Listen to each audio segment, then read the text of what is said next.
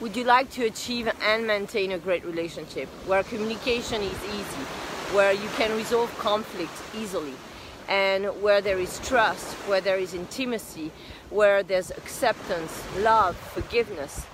If you do, we can help you. We have a workshop coming up on Friday, February the 9th at 7:30 p.m.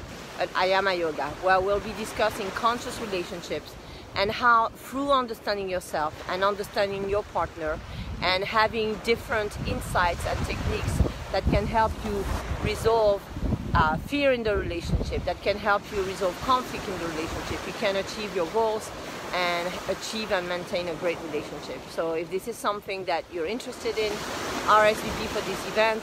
We look forward to seeing you and help you achieve a great relationship in your life.